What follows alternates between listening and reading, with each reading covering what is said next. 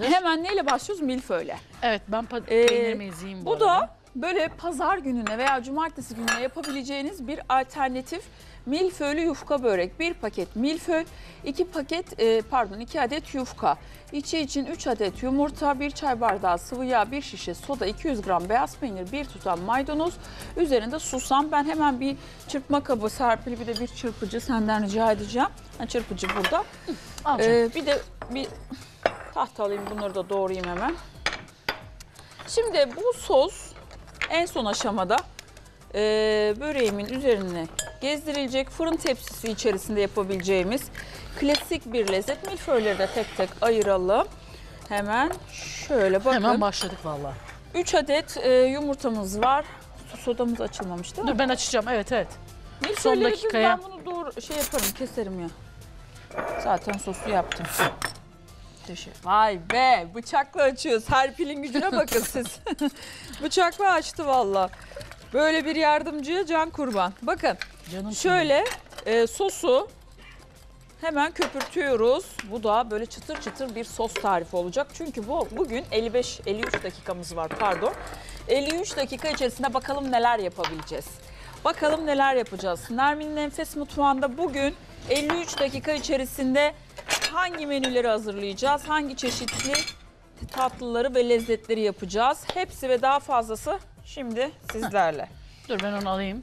Hemen şöyle minik minik doğruyoruz maydanozumuzu. Şöyle peynirli bir harç yaptık. Ee, hem milföy kullanacağız hem de hazır yufka kullanacağız ama yiyenler elde açma börek tadında sanacak. O kadar lezzetli iddia ediyorum. Efendim Cuma'ya kalmadan bitireceğiz inşallah. Cuma'da bol bol dualarınıza talibiz. Dua yaparken hep söylüyorum sadece kendiniz için değil, bütün Müslüman alemi için ve şu kara bulutların bir an önce ülkemden silinmesi için dua edelim. Gerçekten imtihan dünyası. Birçok sevdiğimizi kaybettik. Birçok sevdiğimiz hastalığa yakalandı. Artık hani kaçar yolu yok. Belki de yarın öbür gün bize de gelecek ama en hafif şekilde atlatmayı nasip etsin Rabbim. Ee, dikkat edin yediğinize, içtiğinize, dışarıda geçirdiğiniz zaman dilimine çok dikkat edin. Manavdan, marketten geldiğinizde eşyaları şey yapın, mutlaka yıkayın. Şöyle maydanozumuzu şöyle vereyim serpeyim. Ver canım sen bunu. Şimdi e, bakın şöyle tepsi aldım. Böyle kare kare milföylerimiz şöyle zeminde Gidiyor. yerde kullanacağım. Hemen böreği fırına vereceğiz. Şimdi burada yufkayı nasıl yerleştirdiğim de çok önemli. Onu da göstereceğim size.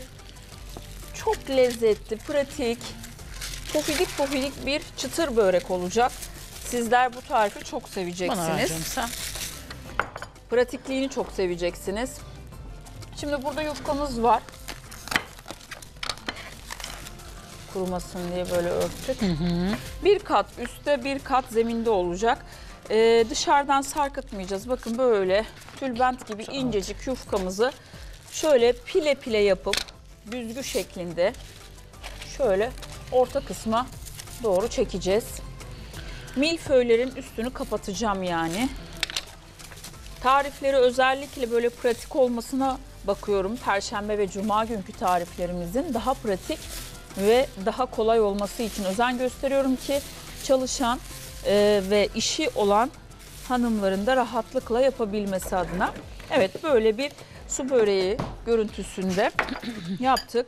Şimdi burada üzerine şöyle Peynirli harcı bakın alttaki milföy hamurun üstüne denk getirmeye çalışıyorum. Keseceğim çünkü birazdan. Bir kesme yöntemi olacak farklı. En son sosunu içerisine koyacağım. Ya üzerine gezdireceğim. Hatta sosuyla vaktiniz varsa bir 10-15 dakika dinlendirmenizi tavsiye ederim. Şöyle. Bunu da buraya koyalım. Böyle milföylerin üzerine denk gelecek şekilde bütün harcımı ekliyorum. Keskin bir bıçağa ihtiyacımız olacak. Şöyle sıyırmazsam aklım kalacak. Hemen şöyle elimi içerisine müdahale edeyim. Bu aşamada yine buradan diğer yufkamı alıyorum. Ben burada birazcık şu Serpil bir kaşık verirsen yufkayı da şöyle ıslatmak istiyorum. Üstünden dökeceğim ama içine Ama de arasında da Heh, keseceksin ya şey olur. Güzel olur şöyle Hı hı. olsun. Birazcık gezdirivereyim şöyle lezzetlensin. Vaktiniz varsa dediğim gibi kestikten sonra en son sosunu verdikten sonra dolapta bir 15-20 dakika iyice sosunu çektirebilirsiniz. Şöyle. Hadi bismillah. Yine bunu da böyle pile pile yapıyorum. Şöyle. Yumuşak hareketlerle, severek, acıtmadan, incitmeden kim sever ki acıyı? Herkes aslında güzelliği sever. Bence hani e, böyle soğuk duran, işte sevgi ilgisiz duran kişiler daha çok seviyor bence sevgiyi. O yüzden bence her şeyi sevgiyle halledebilirsiniz. Bakın ne yapıyorum? Tam alttaki yufkalarımın üzerine gelecek şekilde yerleştirme yapıyorum. Güzel koydum. Ver aşkım. Şöyle. Şimdi burada bir kesme tekniği yapacağım. Şöyle bakın. Güzelce yerleştirdim. Şöyle şunları da alırsan. Ee, burada Bismillahirrahmanirrahim. Önce keseceğim. Şöyle bakın. Şu boşluklardan yufkalı yerlerden keseceğim. Şöyle.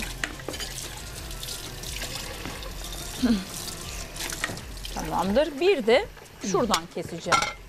Şu an dikkatli bakarsanız şöyle bu kesme yöntemiyle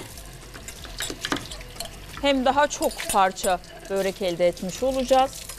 Hem de çıtır çıtır elde açma tadında börek yapıyoruz. Ay yanlış kestim. Şöyle. Şunu da geldim. Şöyle.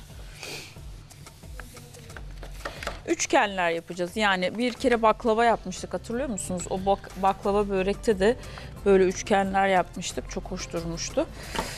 Ee, sonrasında efendim bir küçük bizim şeyimiz var mıydı? Kaşıkla yedireyim mi? Kepçemiz diyecektim.